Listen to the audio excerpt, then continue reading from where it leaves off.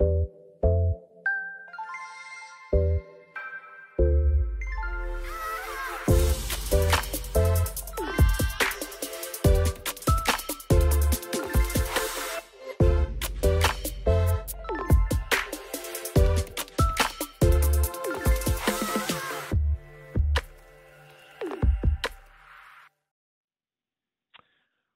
Welcome to this uh, PCR webinar from Johannes Hospital in Dortmund, Germany.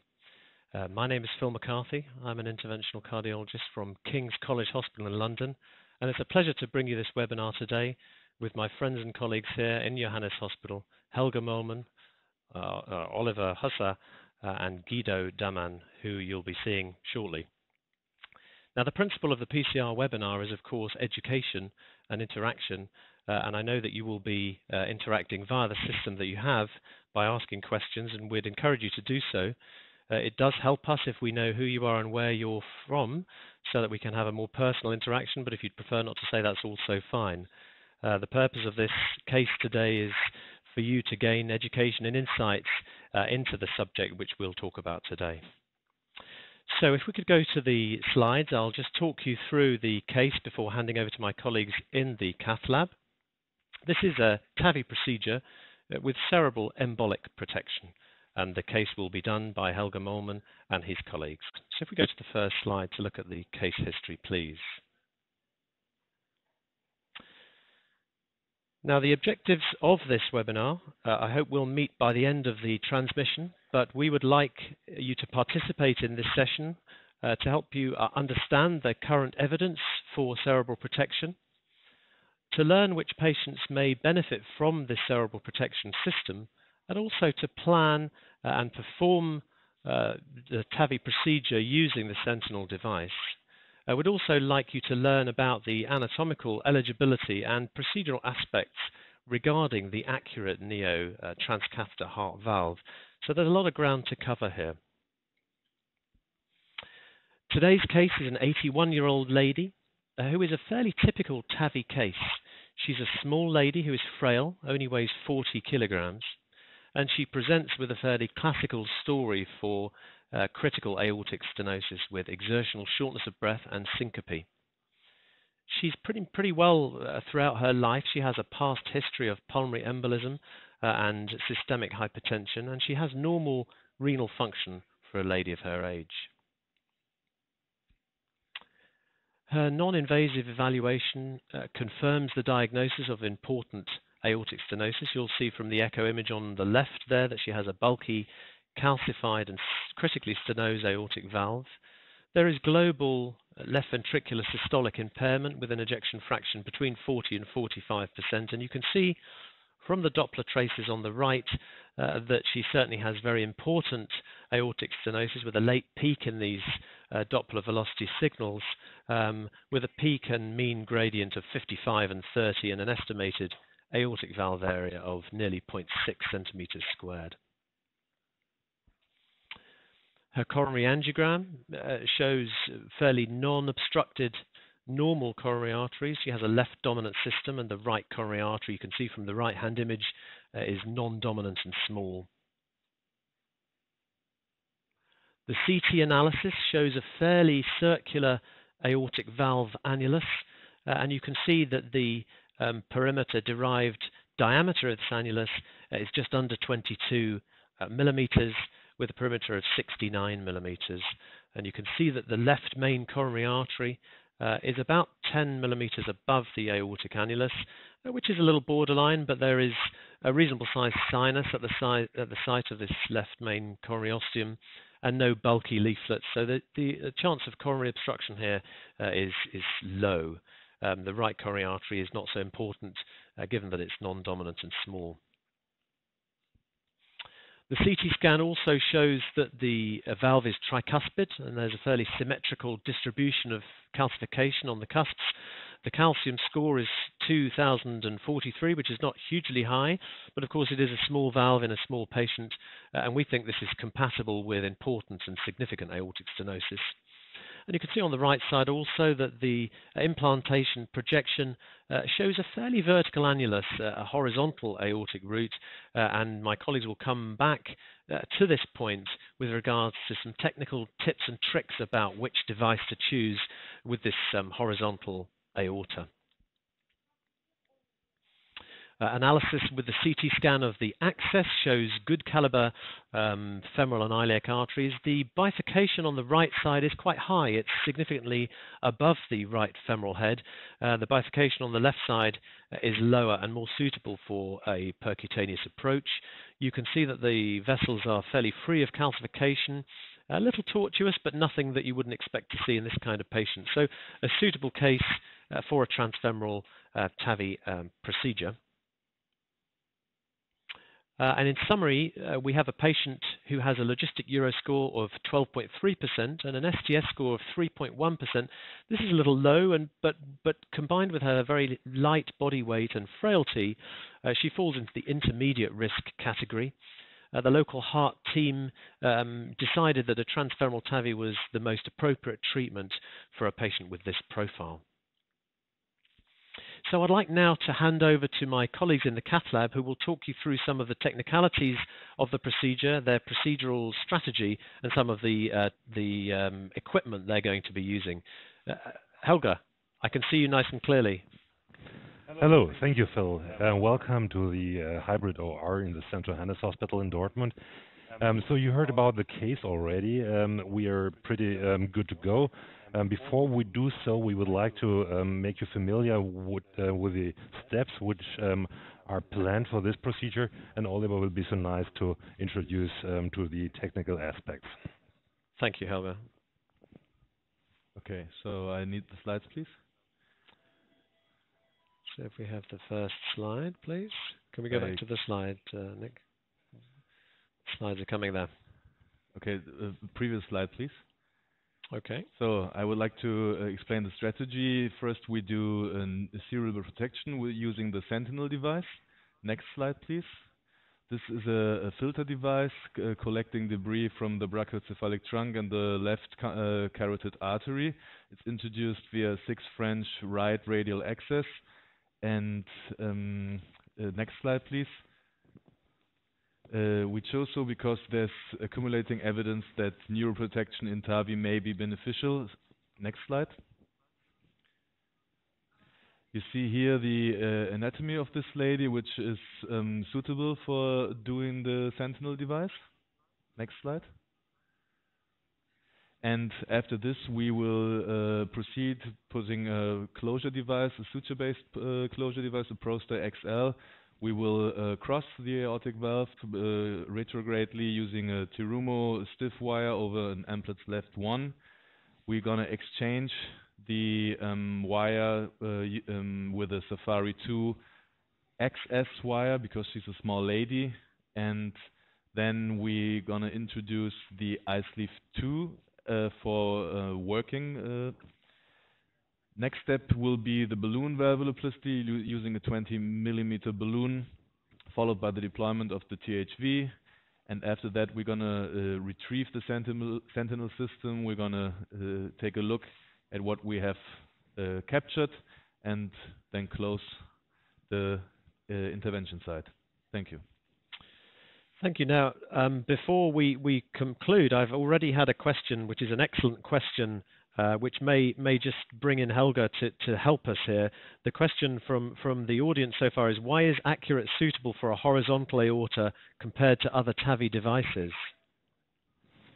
Of course, other TAVI devices uh, may be suitable as well, but um, the ACURATE device is uh, very easy to handle because um, there are some um, stabilization arches which help to self-align um, the valve during um, the release and therefore it's um, very easy to handle um, horizontal aortas, which sometimes are a little bit cumbersome um, using mm. other devices. You will see later on how easy um, it is to find um, the perfect um, placement of, of the device in this Fantastic. anatomy. So if we just go back to these slides, Nick, uh, just to conclude. Ah, sorry. And uh, this uh, shows the um, dimensions of the aortic annulus. You see, like said before, the perimeter-derived uh, diameter is roughly 22 millimeters. So this uh, next slide, please, would uh, uh, give us the dimensions of the um, small or 23 millimeter device. And so basically we can... So we're comfortably within the um, the uh, framework for the for the Yeah. smaller device. There's no controversy about the sizing here. No, we're just right in the center, so uh, we we don't worry about the dimensions here. So, okay, then we come back to the key objectives of this uh, live case. Um, you saw the case, you saw some details. Um, we are planning to do this live case in order to um, understand. Can we go back to the slide, please? We just cut. Okay, thank you. To understand the current evidence of cerebral uh, protection, and you already heard some details from Oliver. We will discuss this later on. Uh, we would like you to learn which patients may benefit most from the cerebral protection. Would like to show how to plan and perform the cerebral protection during the TAVI case um, using the Sentinel device. And last but not least, to learn about the anatomic eligibility and procedural aspects um, regarding the ACURATE um, NEO THV. To do so, we prepared a little bit here already. Um, so we have um, a couple of sheaths already placed. Uh, we decided to go for the vascular access for the big sheath on the left side, um, as uh, was discussed before. So we have on the right side a uh, venous sheath and an arterial sheath. So we use a long venous sheath, which is then also um, a central access for um, the anesthesia team. We have a seven French um, arterial sheath in there to use um, for uh, blood pressure management and to um, hold the pigtail, which we already placed at the bifurcation. On the left-hand side, we placed a venous sheath together with a pacemaker, which we will uh, need later on for the valvuloplasty. What we are going to do next is to visualize um, the left groin and to um, see or to, to find the perfect um, point for the uh, puncture of um, the vessel.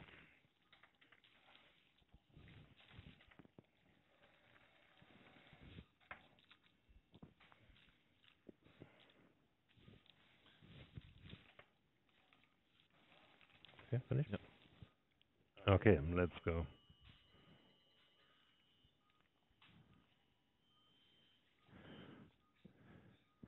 Okay, here you can appreciate that also on the left side we have a pretty high bifurcation and uh, we try to get the puncture um, above the bifurcation but below um, the um, retroperitoneal space. So what we are doing to do right now is to do the puncture visualized as you can see here.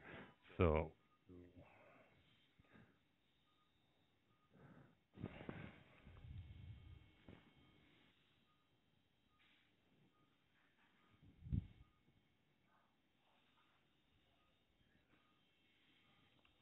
this would be a good place here. Uh, everything pretty small.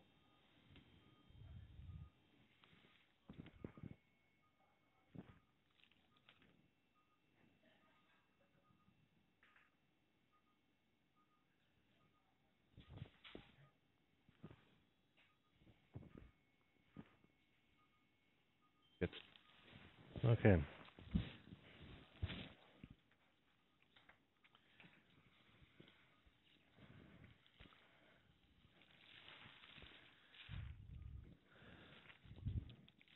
Okay. So, so that wire is running nicely, Helge. There, I, I, I, I think lots of people have different ways of doing access. Uh, you're using X-ray. We always use uh, ultrasound. I guess it's what you're comfortable with and happy with. Yeah, that's that's the way we go. I think there is no clear advantage for the one or the other Yeah, um, agree. way, and um, I like this um, way of direct puncture.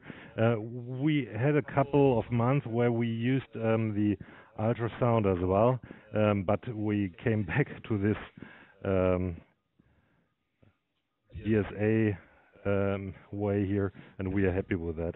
Yeah. What I do right now is to have a, a small um, incision here. Uh, that's why, because I'm always using the ProStar system, um, and for the ProStar system, we need to dissect a little bit um, the tissue down to the vessel, and for this purpose, we first put in a dilator, and we use this then to dissect um, the vessel. We have some local anesthesia in place because the patient, of course, is awake. Therefore, we have to be a little bit careful here not to cause harm. Yeah. I have a couple of good questions coming in about the Sentinel, but I'm deliberately keeping them back because I know you're going to show us how to put that in now. So this is a very interesting educational part uh, of the access to prepare the groin first for the ProStar. I think it's maybe more important for the ProStar than it is for ProGlides, this, this preparation down onto the vessel. Absolutely. I think it's absolutely key to um, dissect um, the, the tissue really down to the vessel. Otherwise, um, it will be hard to um, get the knots um, close to the uh, vessel afterwards. And therefore, Yeah. it really take me take some time here to carefully dissect um, the tissue. And um, of course, in this thin lady, it's not so hard. Sometimes it's really um, a little bit cumbersome. This is not the case here, and I think we are done already. So we remove this introducer and exchange it for the ProStar system, which comes right now. Before we introduce the ProStar, it's important to have heparin on board and to check for the ACT um, which we are doing right now. It's important to have heparin on board because you will see in a second that there's a marker channel, and if there is no heparin, okay, um, it's often difficult to see whether we are really in the artery or not. So Okay. I go forward carefully with the system, and once I'm in the vessel, I can see an arterial back bleed. In this Yeah. channel, it's not the case right now. Therefore, I have to work a little bit more on the system. I'm still not entirely happy with that. Now we are getting there. Now you can see the arterial back bleed Yeah. here. We can see that clearly, yeah. Okay. Then I can fire the needles and they are coming here. This gives us two um, different sutures which will then help to close the vessel afterwards. Don't want to hurt anybody here. So there are four needles that you're retrieving from the device, Helge. Exactly. Here. Four needles. I think probably most people use the ProGlide, but the people that do use the ProStar and use it um, at high volume are usually very happy with it. I think it's, there's probably more of a learning curve with the ProStar than with the uh, the ProGlides. I think that's exactly um, um, the uh, right point. I'm I'm convinced that I'm a little bit old-fashioned with the ProStar, but uh, the, uh, my experience is actually a little bit better, um, probably to due to my own personal learning curve. Yeah. Um, but I think um, you should always use the system you're most familiar with. So now we have um, these sutures here, green and the white on the other side. Check whether they are in the vessel, which is the case, and then secure the sutures with a some Infrastuhl.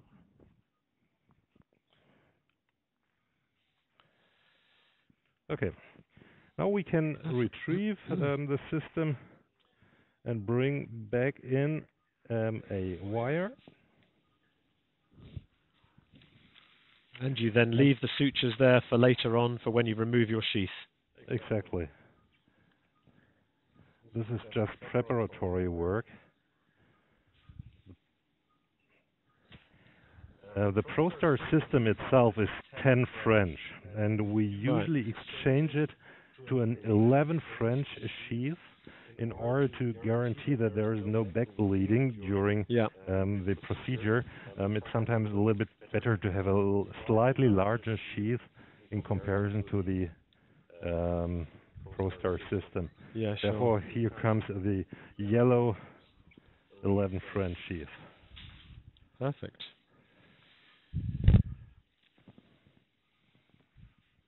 Good. Now we have the exterior access. So with all access we need, and we then go to an Amplatz left catheter um, in order to um, get over the um, aortic valve. And before we do so, we would like to place the um, protection device we have a, so this is a this this is a good time to to ask you, Helge. I've got four questions coming in. There's clearly a lot of interest in this. Yeah. Um, it's it's the first question is do do, do you routinely use cerebral protection in your TAVI patients uh, as a as a matter of routine? Yeah. Actually, of course, we do not use it all patients, but we use it in a growing number of patients. Um, Oliver already showed you that there is um, some good evidence um, that there is a reduction in stroke rate when you use uh, the cerebral protection device, and therefore we have this increasing rate um, of um, cerebral protection. What what percentage of patients do you think in Europe are getting embolic um, protection devices? What percentage of TAVI procedures are being done with cerebral protection? This is a question again from the audience. Actually, this is a very difficult question, and I only have gut. I, I think I don't know the answer uh, myself. Um, it depends on I, the center. I know some centers are using yeah. them in 100%, but most are yeah. not. Yeah. Gut feeling would be uh, around uh, 20%, but uh, yeah. it, it, may be wrong. It may be wrong. So perhaps I can shortly demonstrate the device before I bring it in. Um, so th this is uh, the handle uh, which helps to bring in the two filters um, I have here the catheter, and I have a coronary wire um, which uh, directs the device um, through the um, radial axis um, towards the aorta. So we bring back the wire. Okay, now we can proceed with the wire. Is it running easily? Okay. Then we bring in the in the device.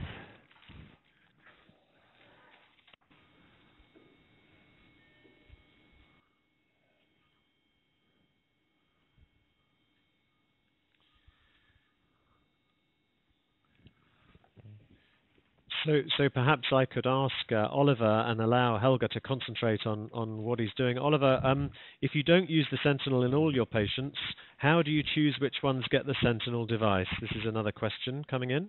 Yeah, this is an important question. I think uh, key in this is to really determine who benefits and who doesn't. I think uh, one indication for using uh, the Sentinel device would be like a severely um, atheroma burden on the on the aortic arch, or if you have a patient who has a, um, a thrombus in the LAA that doesn't go away uh, on an anticoagulation, yeah. valve and valve procedures, it has been shown by uh, in, in in some studies that uh, they are very prone to to release some some debris. So so this would be some some indications I would I would guess are are in favor of using uh, the Sentinel. Yeah. Yeah.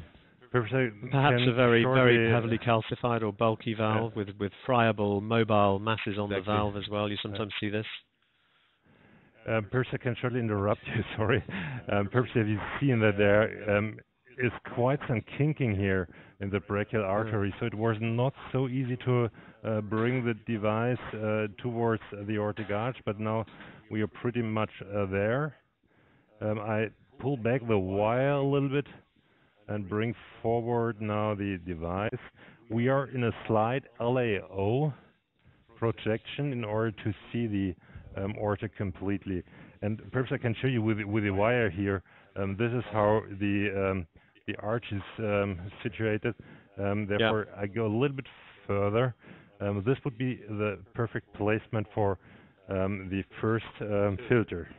Okay, we take back this wire here, and then start with releasing first filter. As you can see right here, first filter opens. Okay, this was the first step. Now, of course, we have to bend the whole system. You can see uh, the system shows towards the aortic valve, but we would like to protect not the aortic valve, obviously, but the carotid artery. Therefore, we have to bend the system, and therefore, um, we turn on the second knob here, as you can see now, and it will then um, bend the whole system, as you can see here. So,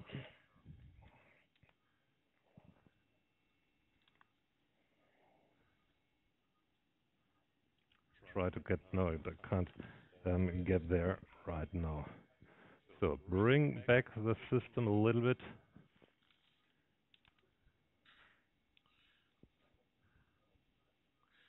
And so again, while Helge is working here, Oliver, I have had a very good question from the audience here that if your father were to have a TAVI, would you insist on embolic protection? Yeah, uh, we get. I've heard this question a lot. Uh, um, when when you when you think about it, I would I would uh, surely say yes because you see what's what's inside.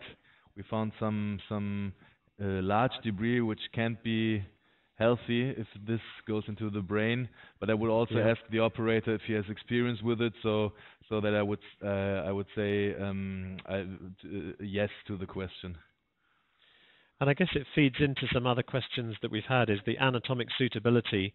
Uh, your, your CT at the beginning showed very nice conventional uh, aortic arch anatomy with non-atheromatous vessels. So I think the risk here is, is low, isn't it, because of the uh, very clean conventional anatomy here. Sometimes you get a lot of calcified atheroma yes. uh, at the ostium of the brachiocephalic artery and the uh, common carotid. So maybe there's a bit more of a risk in those kind of patients.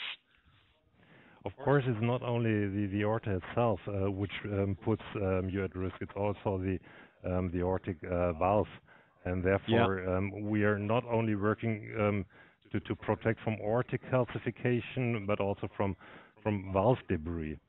If you yeah. have some difficulties to, to get in here, I know that it is very small anatomy. I tried uh, with different angulations, um, have to work a little bit around. I was um, um, not in the right artery so far. No, again, not. So that's the left uh, subclavian there. Left subclavian, yeah, exactly. So now we are. There we go. Um, now we are nice. good here, and you can see how narrow the angle is. Um, yeah. This is um, due to to the small anatomy of of the lady. So bring yeah. back the whole system towards um, the car carotid artery. I'm happy right now. Close it here, and then bring out the second filter as you can see right now, which is placed Very now in the done. perfect place here. Bring back the wire. So that looks like bit. a very, a very, very conventional and perfect position of both of those baskets there. And also so the device is out of the way of the arch for passage yeah, of your exactly. uh, transcatheter valve uh, another question from the audience is how much heparin did we administer here prior to the placement of the Sentinel? This was a question from Buenos Aires. Yeah, so the um, um, so far we uh, gave uh, 10,000 units of heparin, uh, which is of course quite a lot um, for for this small lady. Um, now we are checking the ACT. Okay, ACT is 325. So That's this pretty was good. Pretty, so pretty good. Perfect. Yeah, perfect. Okay. Okay, then we can um, have a look on the native aortic valve. And here we are with our catheter. So I always try twice or three times with the pigtail uh, whether I can um, come um, whether I can cross the aortic valve and actually I managed to cross it with the pigtail as you can see here so we do not need the amplatz left put okay. in the pigtail again and while doing so I realized that we lost our pacemaker from the perfect position. As you can see here, there's a strange bend in the um, pacemaker, and I, I, will correct this in a second. But first, um, I would like to bring in um, the um, guide wire for the later procedure. Perhaps I can have a wide something uh, compressor. Can show you. Can you have a look here on, on, on this closely? This is uh, the Safari wire with a very small curve. It's a pre-shaped guide wire which helps to safely bring in all the um, devices and not to cause any harm to the uh, ventricle. It's really a very uh, a very good advance, isn't it? When when we first started using the Safari, we, we thought it wouldn't be much better than your hand-shaped Amplatz uh, extra stiff, but but it's a very nice device, the Safari Wire. The way it bounces into the mid cavity and yeah. keeps everything very safe and atraumatic in the ventricle.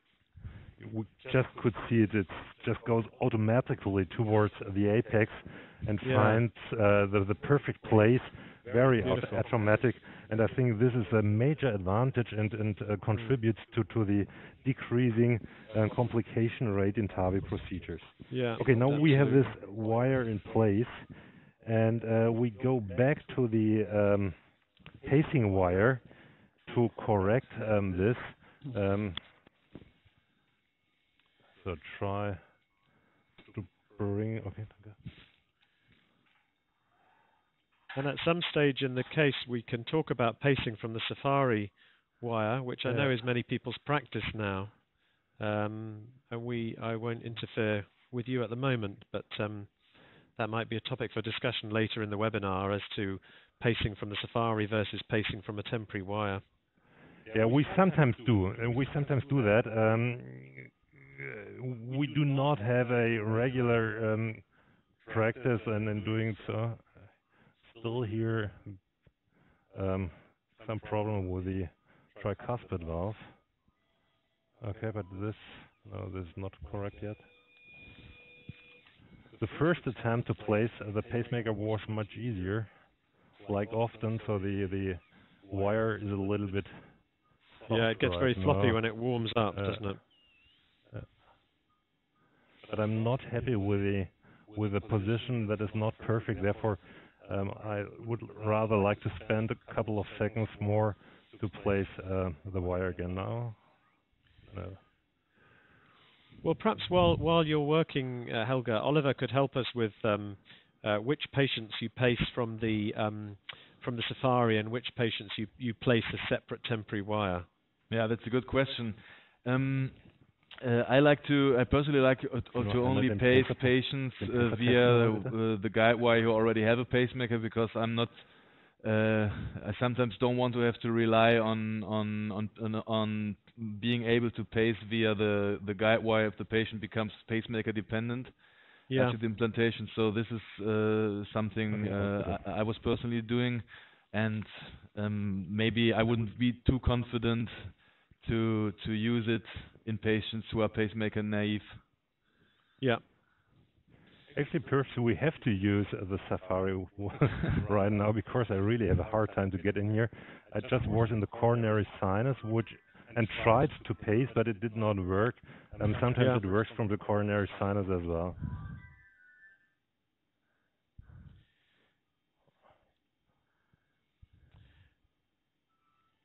Of course, the situation is different when the patient has a permanent pacemaker device, and uh, lots of the newer devices are now uh, Wi-Fi compatible. So we did a couple of cases yesterday with Wi-Fi activation of uh, indwelling permanent pacemakers with very nice rapid pacing to 200 with no problem, and the technician was able to control the pacing uh, wirelessly very nicely. So that's another option if you have a pacemaker device in in situ already.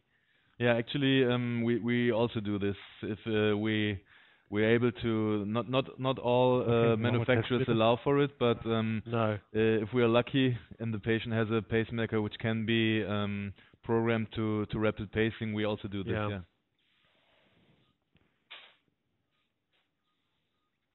Okay. Okay, stop. Good. Okay, this is not the absolutely typical position of a pacemaker, but we just tested it and it works nicely. So, so we are happy now with this uh, position and we are good to proceed with our procedure. So, next step would be to replace the 11 French sheath for our working sheath, which is a 14 French sheath. I can um, show the sheath quickly to you. Um, it's a 14 French um, sheath. It's expandable, and you can see that it is completely wrapped, so there's um, no harm to the vessel. Um, it's a very um, soft um, introducer sheath um, design, as you can see here. And we now take out the um, 11 French sheath.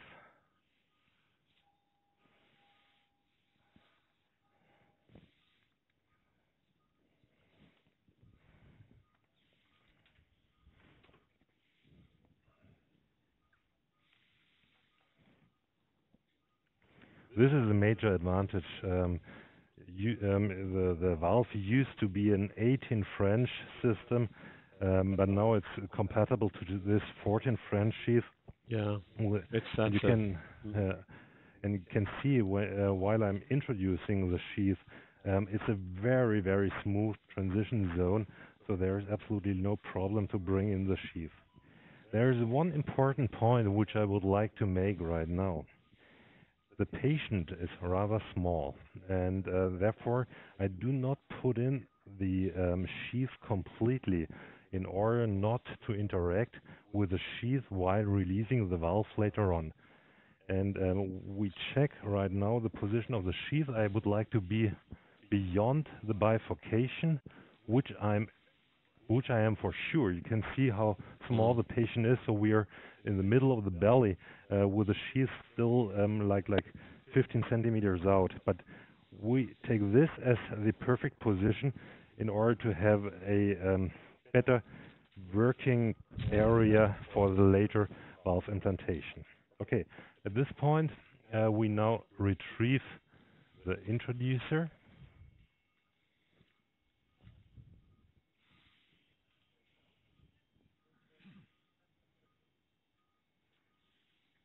Okay. Then I, I'm going to de-air the sheath. It's very important to hold the sheath in this um, position. Um, there, um, the sheath is coated, and therefore it's really um, easy to um, lose the perfect sheath position. Therefore, I hold my left hand on the sheath and on the patient the whole time right now, in order not to lose the sheath. Okay, einmal bitte Sog drauf machen. Next step is uh, the ballooning of uh, the native valve. And as you heard before, we are using an Osypka balloon. Um, it's a 20 millimeter balloon, which I bring in right now. Here comes the balloon.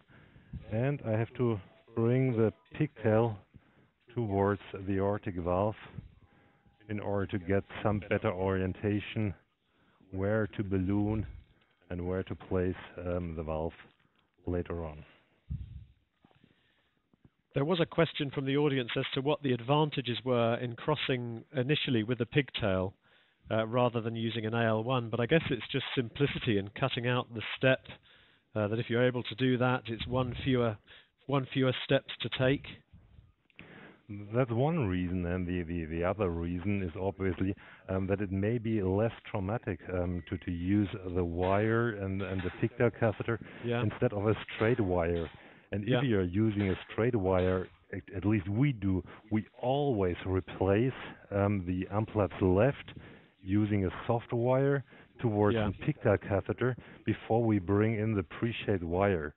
And Yeah. obviously, if you're going with the pigtail directly, um, you can go with the um, Amplatz wire. Um, um, no, not the Amplatz wire, wire with the with away. Safari wire straight away. Yeah.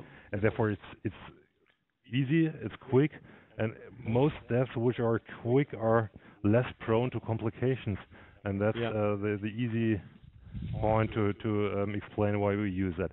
First, we can shortly go to the um, to the aortic arch again, in order to see that there is no interaction with the um, sentinel system.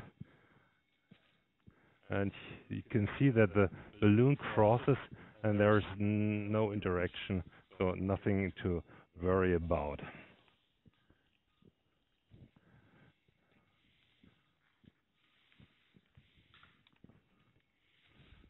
Okay.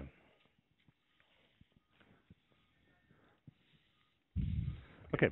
Now we are um, at the aortic valve. Balloon is placed in the right position, and we start a short uh, period of rapid pacing. Pacer bitte an. Yeah. I hope it works with this little bit atypical position. Okay, pressure is down. Mhm. Pacer off. Okay.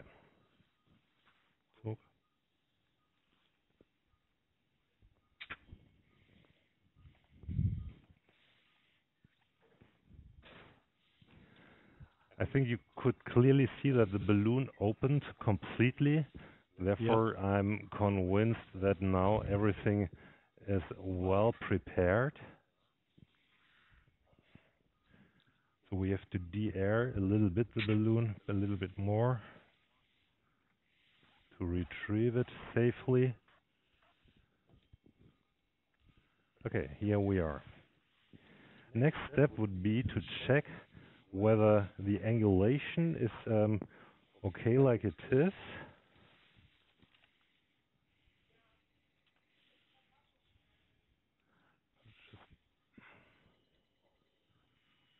You can see uh, that we will have a perfect perpendicular view um, right now.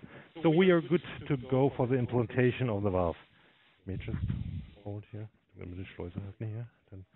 I would like to explain a little bit the valve, so we bring it in here.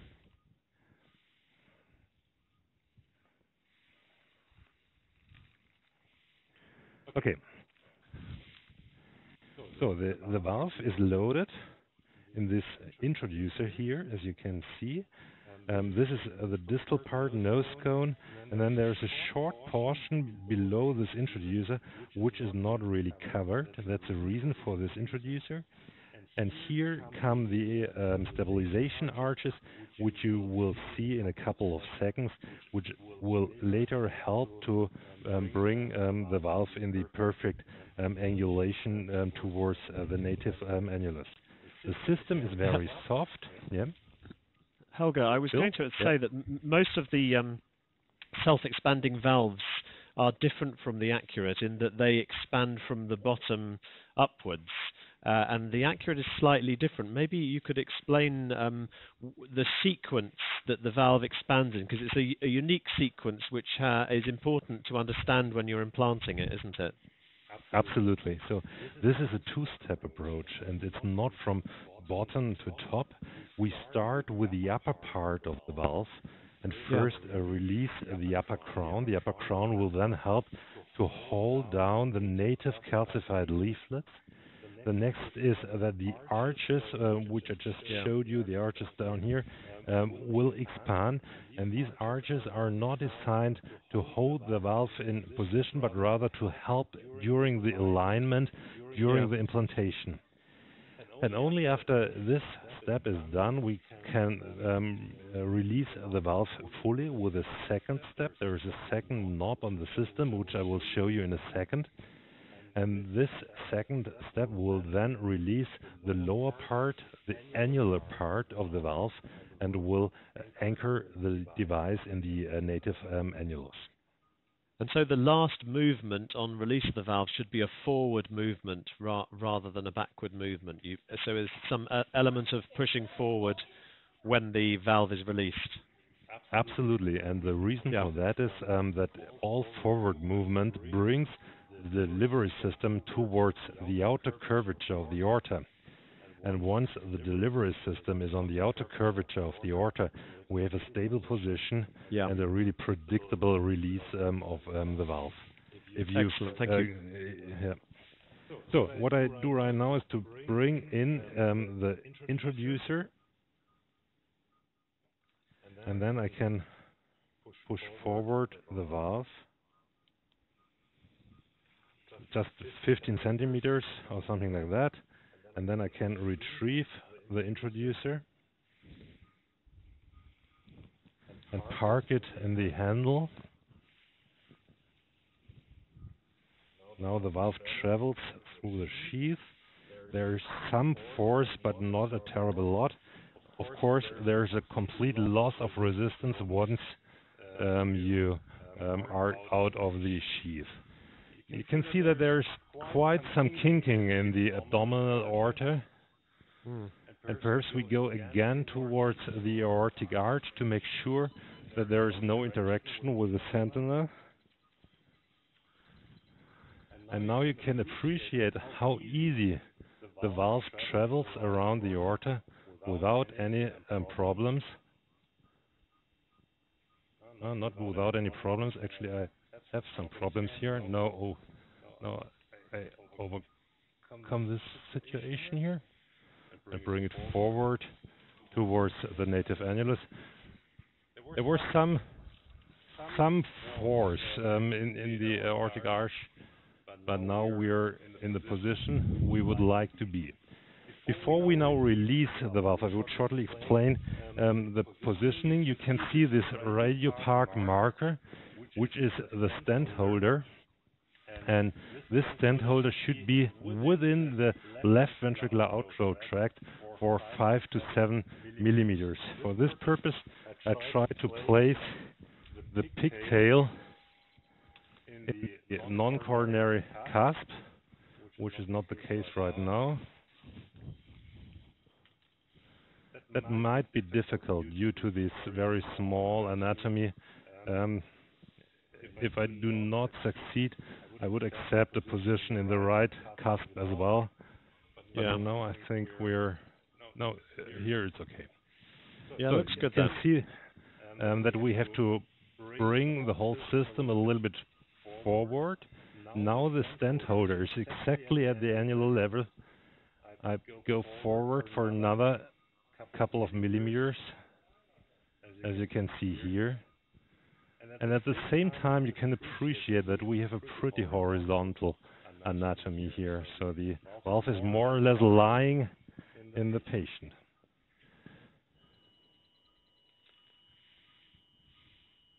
Okay, I'm happy with this position here. And we are good to start. So we have two knobs here. Perhaps you can explain what you're what you're doing, Oliver. So like Helge just said, it's a two-step procedure. So we have only two wheels on the handle. It's nicely numbered, number one, number two. And you see here is a safety button. So this prevents me from accidentally starting with number two. So I think I will start now. Yeah, yeah can start. And I try to explain what happens. You can see that first the upper crown opens, which is the case right now. I check again here. Okay, we are good above the native leaflets. And the next, during the step one, the next is that the arches will open in a couple of seconds. Here, you can see that. And you yeah. saw that jump of the valve. This nicely shows the self-aligning properties of this device. Mm. So the next step is to check again whether we are in the perfect position or not. And actually we are. I will then remove the pigtail and Oliver remove the safety button and is going to release the valve.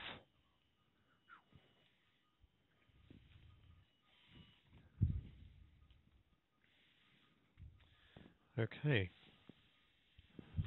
Okay, so you saw that the valve um, popped open, and now we wait for a couple of cardiac cycles in order to allow the nitinol to fully uh, to, to firmly anchor within the annulus, and then we retrieve the wire in order to centralize the nose cone before we retrieve the valve. As you can see here, now we put in the wire back to, towards the ventricle and carefully retrieve the system towards the descending aorta.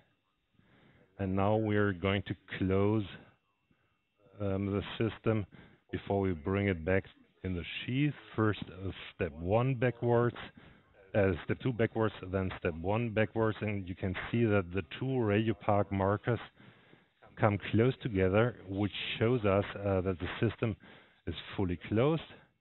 Now we bring back the system, and normally there is no interaction with the sheath, so you can just remove um, everything without any problems.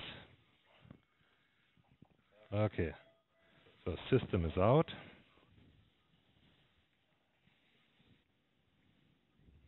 So we have another question, uh, Oliver and, and Helge, about whether this device always needs a pre-dilatation with a BAV beforehand.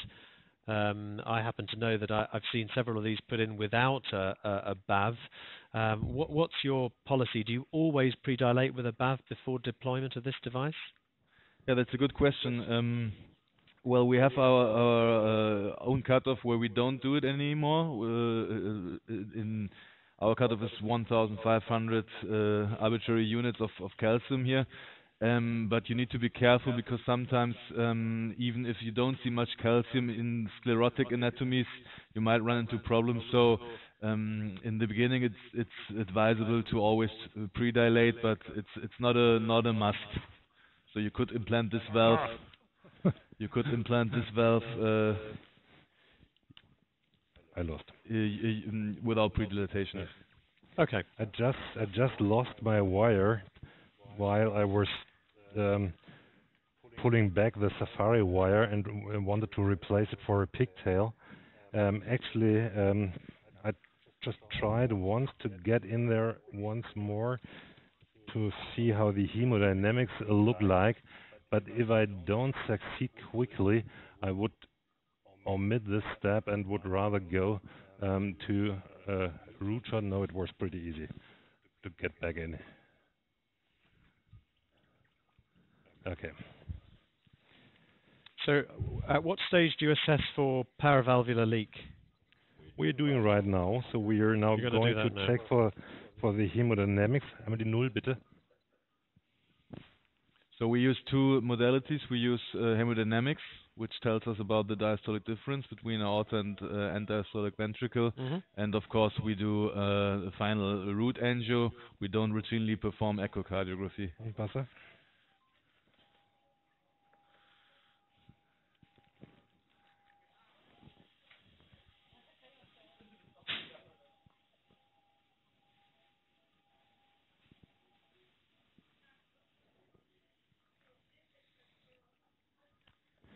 So now we can see the um, hemodynamic, and you can see that there is no gradient left, which is probably due to the um, supra-annular design of the ACURATE device. Um, I think it's one of the most supra-annular designs, which usually um, gives you excellent hemodynamic situation. Um, especially in this small ana anatomies, uh, this might be of um, importance. You can nicely see the dicrotic notch here, so I'm yeah. pretty sure um, that the um, final root shot, which we will do um, in a, a, second, will um, be with a nice result. For this purpose, it's important to place the pigtail at the upper part of the valve. This is not um, to um, to have a uh, small regurg fraction, but more not to interact with the um, leaflets And Because um, the leaflets are superannular, is that? Is the point. exactly. So if you're Yep. too deep with the pigtail, um, you may blow the, the leaflets open and um, perhaps have a wrong impression of the uh, regurg fraction. Yeah, there's very nice hemodynamics there. As you say, that you can be sure that this is a good result, just hemodynamically. That's very nice. So that's uh, what we see right now. There's trace um, regurg, but definitely nothing which warrants more interaction with the valve. You can see that the valve nicely aligned um, towards um, the um, annulus, and I'm pretty happy um, with this result and would not go to further steps like like post ballooning or something like that. Um, these residual trace um, will probably disappear by tomorrow due to the self-expanding uh, properties of um, the ACURATE um, device. Yeah, there's a beautiful height there, and you can see that the stabilization arches are just keeping the valve nicely coaxial with a native valve, just as you said uh, they would. Yeah. So what I'm doing right now is I retrieve the pigtail from the ventricle, and um, here I usually take a wire in order to straighten the pigtail and to bring it back in order to avoid any um, interaction with the device. So the pigtail is now retrieved. And we Which have some nice. congratulations on the case from Kazakhstan here coming in from the audience. So we have a re- truly That is worldwide reach Thank you. today. Yeah. This is great. Thank you very much. So, but we are not done yet. So perhaps a little bit No. early for congratulation. Only um, half time, no, a little bit more than half time now. What we have to do right now is to we have to first retrieve um, the sentinel, and and the second step, have, of course, to close um, the vascular access um, site, and these are um, the next step, uh, which we would like to um, do right now. So first, um, the sentinel. We go back um, to the picture, as you can see here. The system is still completely in place, so there was no movement. First um, step is to bring back the distal filter. You can see that I'm pulling on uh, the knob number three, which brings back the filter into the device. As you can see here, I close this part. I open part number two and bring the whole system towards um, the back towards uh, the ascending aorta, as you can see here. In this case, I don't bring it fully in because the anatomy is so small. So I stop here by purpose, and then I bring back. It does not really move. Wanted to bring back um, the curve. Okay. So first to pull back everything. You can see that the aorta is really small. It takes some time to bring back the whole system and to bring back the curve. I then take out the filter number one, and this straightens the whole device. Now we bring forward the wire again a little bit to straighten the whole system. And during um, the retrieval of the system, we have to um, keep the filter inside, which will be done by, by Oliver. And I carefully pull back the whole system, as you can see here. And then we are using the time for closing the femoral device to see what happened to the filters. If we retrieved some materials, we will check for this in the meanwhile. So filter is safely retrieved.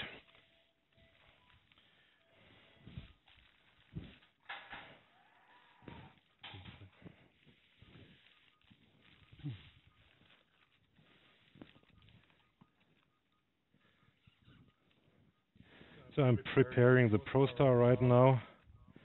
If there are some questions from the audience, we can of course discuss them in the meanwhile. Well, the only the only question I have um, on my on my system here is whether you have experience with a transcaval approach. I think it was in reference to the small um, femoral arteries and the high bifurcation. Uh, yeah. Do you do transcavals, and do you like this approach? Um, actually, um, eh, first question, uh, do I do it? No. Second question, I cannot answer because uh, since I'm not doing transcaval on a regular basis, I cannot really say whether I like it or not.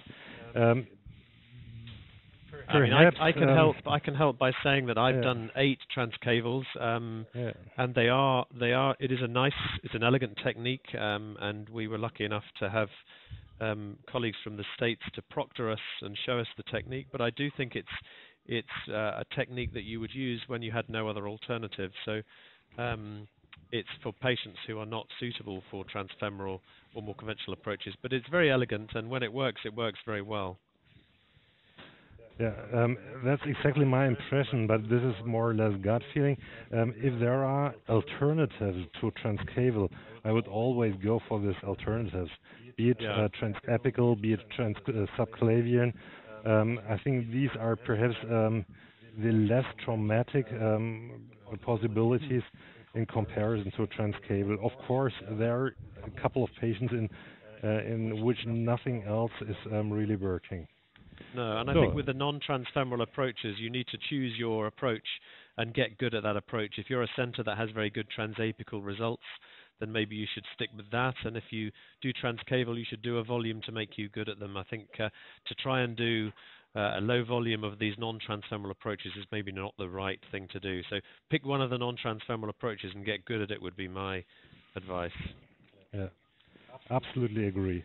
So in the meanwhile, saw it, uh, I retrieved um, the sheath and I'm now pulling down the knots and um, now we can give some protamine in order to reverse the, the heparin. It's already pretty good a result without doing so much. Here you can see there's no bleeding like here. Closure. I've got a few more questions that maybe Oliver can, can help with. Uh, I think the audience is keen to look at the filter to see if there's any debris in the filter that was just retrieved. Yeah, I, can, I guess so. They're still we're still working. they still at it. We're still working so on that one. Okay. Once we once we get uh, get it done, we will show it, uh, of course. And the other the other question is, do you have any access to any other um, protection devices? And if so, what are your thoughts on them? So far, we only worked with a Sentinel device. I think the um, there is most data for, uh, available for the Sentinel device. I do not have any experience with the other devices, and therefore I cannot really um, answer this question as well. Okay. Um, th there is another question coming in about um, echocardiograms in the cath lab. Do you ever use uh, echo to assess PVL or fi a final echo before you take the sheaths out? Um, actually, yes. In case we have any questions, of course, we are going to have a look on the echo, no question asked. But here, I think it was pretty convincing that the result is nice, and therefore, in cases like this, we do not go for an echo in the cath lab. Of course, the patient um, gets an echo as soon um, uh, um, she is on on the um, ward. Um, but not um, right now. Not routinely. The echo machine, no, not routinely. The echo machine is just in the room, so it would be no problem to um, to to use um, echo.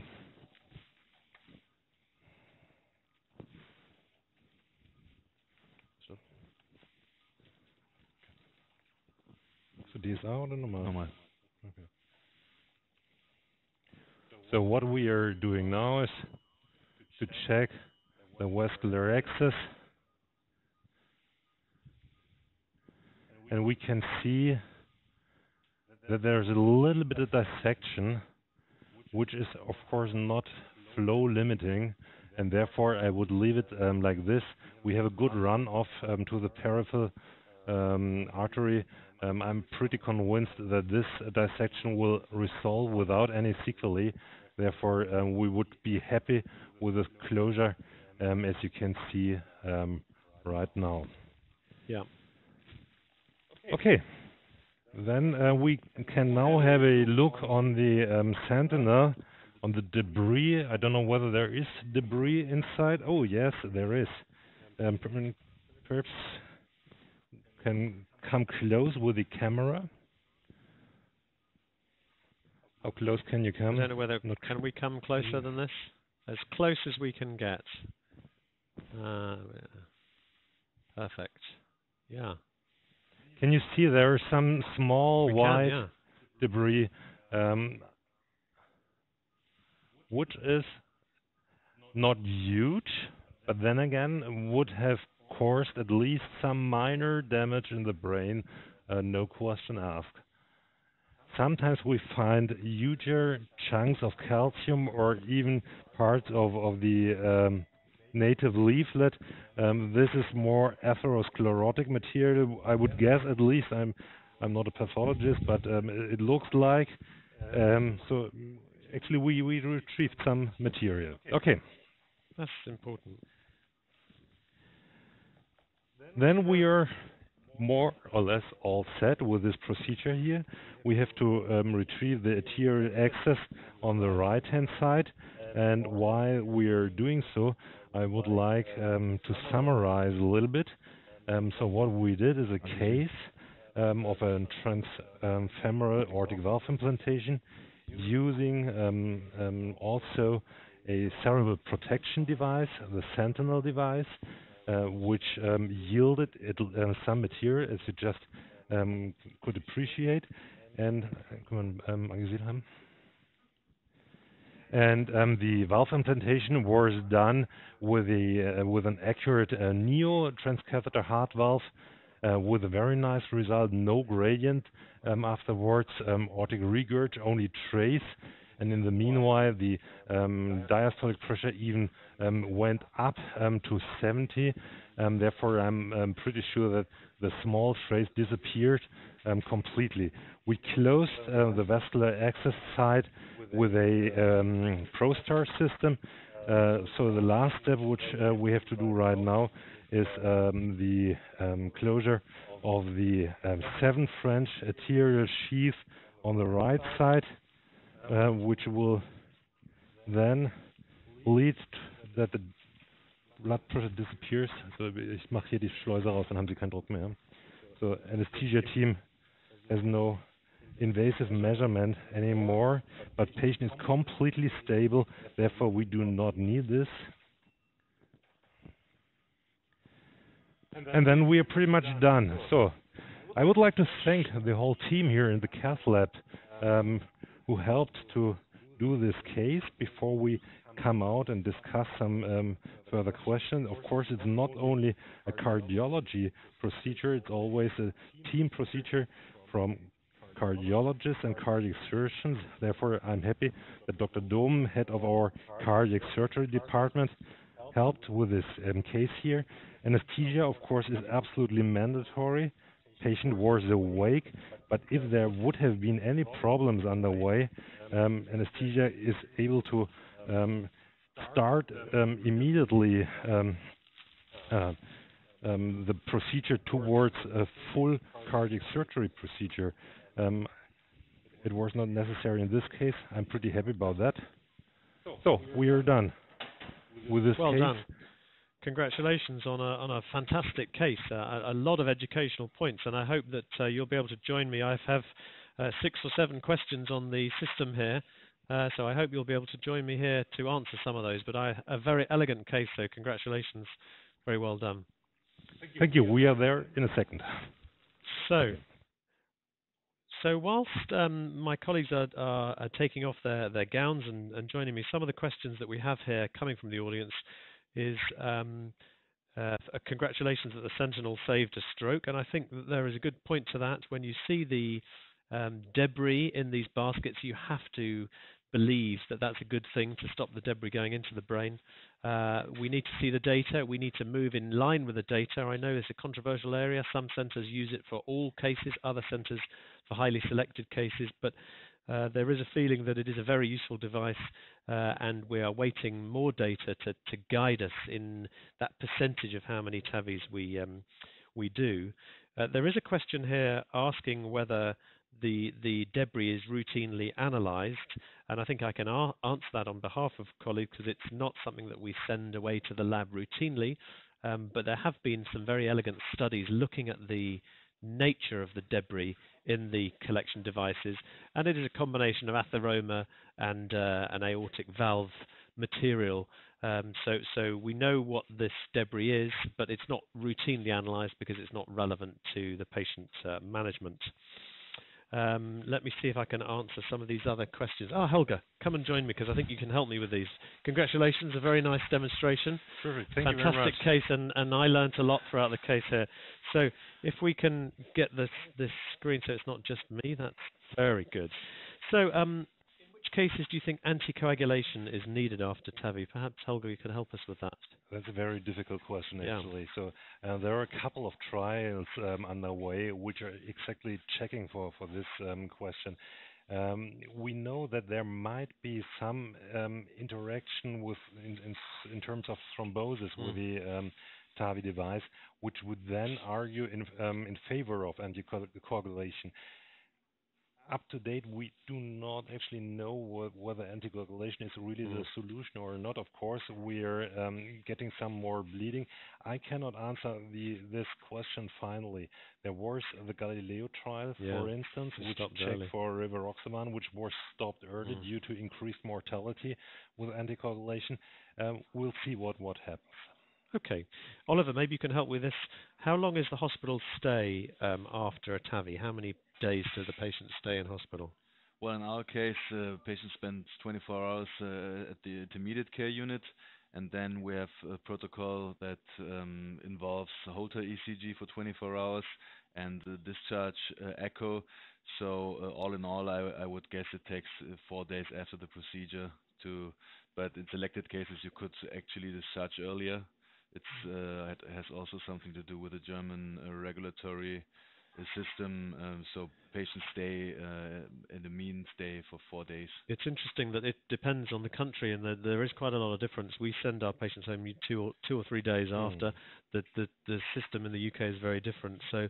Uh, I guess there will be differences in, in practice in different countries in length of stay, but yeah. it impacts into cost effectiveness as well, doesn't it? Uh, that you know, if we it are may, going to make it cost yeah. effective, we're going to need to bring that length of stay down. Yeah, um, actually, this is absolutely true. At the meanwhile, I'm happy that we do not have to uh, discharge the patients so early because sometimes we see some problems um, with the conduction system yeah. on day three, on yeah, day four, day five, and this will perhaps bring patients at risk if they are already at home. Um, we'll see what the perfect um, timing is. Of course, um, it's always good to, send them home early, but if it's not absolutely mandatory, I'm pretty uh, happy to, to keep them for at least three or four days. Now, there's a very good question here. Will the low risk data recently released, which is, I guess, partner three and the, uh, the Evolute low risk trial, um, do you think that preventing stroke will become more important or, or, or less important? Tell, give me your views on that because the stroke rates were very low, mm-hmm. weren't they? So I think there are two points. Of course, it's always important to bring um, stroke, bring down stroke rate. Um, a stroke is an absolute catastrophe after such a um, procedure. Um, therefore, every attempt um, which could reduce the stroke rate is a good attempt. On the other hand, of course, we have to admit uh, the stroke rate um, was very low, mm. 0.4% um, during hospitalization um, in Partner 3, which is a wonderful result and which really reassures to, to um, treat these younger patients. But at the same time, of course, it's difficult if you're already so in such a low rate, 0.4%, to further reduce um, that. These are the two aspects that have to be um, counterbalanced a little bit. Yeah, it's an interesting area, isn't it? The last of my questions here, waiting, is is um, I guess pertains to the small anatomy and small bioprostheses. Do you change your anticoagulation with a small bioprosthesis compared to a normal size one, or do you do do you use the same antiplatelet or anticoagulation um, regime for, mm. for all the sizes? We do not make any difference hmm. between mm. the, the different sizes. Um, as I told before, this uh, especially this device is a very supraannular de yeah. uh, device. And therefore uh, the leaflets are um, moving completely Mm. free, and therefore I do not think that there is a special need for anticoagulation for this device, and neither for smaller or larger devices. And and do you change that that that with the valve in valve procedures? Do you anticoagulate valve in valve procedures, or do you use the same regime for Mhm. valve in valve than you do for nat- for native valves? We usually go for three months of anticoagulation in a valve in valve procedure, Yeah. but this is gut feeling, Yeah, so there's do the no same, clear actually. data Yeah. data around. uh, Yeah, and of course, if you look hard for AF in these patients, about 40% are going to have paroxysmal AF if you look hard enough. So it's a really difficult area. I still think it's not resolved. Absolutely. The the antiplatelet and anticoagulation regime. It's not resolved, is it? Therefore, I'm happy that there are a couple of other trials on the way Yeah. which perhaps may help to, to answer this question. Um, there's the Envisage trial, for instance, for, for uh, edoxaban, and um, these trials will perhaps give us a better understanding on how to treat these patients.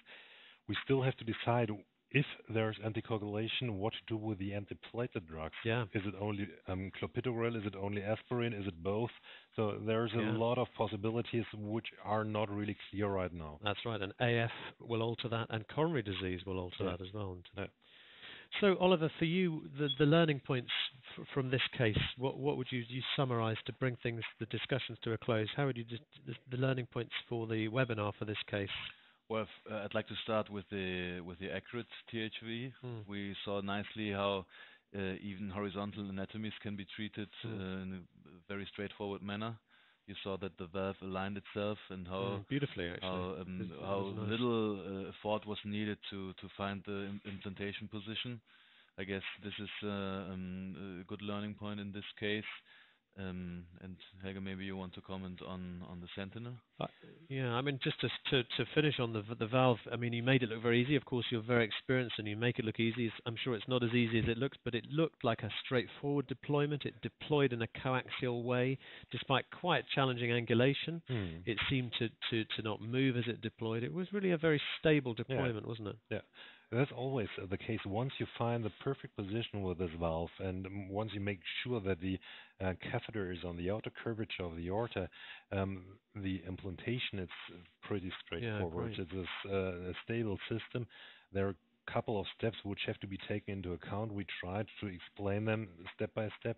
Here in this special case, it was a little bit tricky due to the kinking in the abdominal Mm. aorta. So we have a um, quite a hard angulation to to get to to the ascending aorta. Um, it ended up with a perfect position. Yeah. It was a very stable um, release of the valve, and um, I will actually um, point towards this self-aligning um, properties, which are really, really helpful in comparison to some other self-expanding devices. And how about the Sentinel now? Do you do, you've used it? You demonstrate it very beautifully there. Are you going to be using it in a higher percentage of your patients? Do you feel this is going to be something that's going to be creeping into your practice? Are you going to wait for data? What's your concluding thoughts on on the Sentinel? I would like to answer it a little bit the other way around. If you see what we uh, finally found in, in this basket, Yeah. um, this is pretty reassuring that it might be helpful to to um, use um, such a system um, on a- on a more regular basis. Of course, uh, we have to handle um, the cost. Uh, Mm. That's one issue um, that has to be um, discussed. But nonetheless, if if we have a patient view and and and if we see what strokes could be avoided, I think this is a pretty strong argument to to to use it more Yeah. regularly. I mean, this kind of small debris is not likely to cause a hemiplegic stroke. No. It's not likely to Mm. cause neurological signs that we would associate with a stroke, but it's likely to cause diffuse brain injury, a decrease in cognitive function, perhaps delirium for a few nights. And there is a lot of talk about elderly patients coming a step down in their cognitive function after an intervention like a TAVI. So you, I think it's a strong case to be made to look at the uh, the debris and say that's better out of the patient than in the brain. That's hard to argue with, yeah. but we need the data. Actually, we need the data, absolutely, because uh, so far we do not have really hard endpoint No. data. Um, I know that these trials are on the way, and they will help to, to us to understand whether we should use it in which patients, if not in all, to use it. Um, but this data is really uh, urgently needed Yeah. to, to answer this question. Yeah. Okay, Oliver, any other any other questions or, or points to bring out of this discussion? Yeah, I just wanted to to make a point on the mechanisms of filter devices Mm. or deflection devices. So what's what is uh, notable about the Sentinel is that you really filter it out so it goes away. Yeah. It's not just deflected Yeah. to somewhere else where it also might cause uh, trouble. And I I also think that we should um, um, uh, be waiting for more data in order to be able to say if we're gonna need it on a routine basis or just in some selected patients. There was a question earlier on which was which came at a, a difficult time, but someone was asked whether you can use makeshift um, filter um, protection devices if you don't have a healthcare system that can afford a Sentinel device.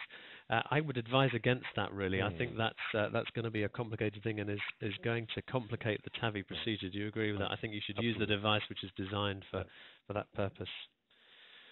Well, the last question I have on the on the system is a, is a thank you from, from somewhere in the world saying that they enjoyed the, the case. I enjoyed it very much, and I think it's just down to me to, to finish the, the webinar by congratulating you for an excellent demonstration. I learnt a lot, and I hope we uh, we imparted that knowledge worldwide. So thank you very much. It's a pleasure to be here in, in Dortmund. Thank you. Thank you. Phil, Thank thank you. you very much for bringing us Thank through. you. It's a real pleasure. Thank you.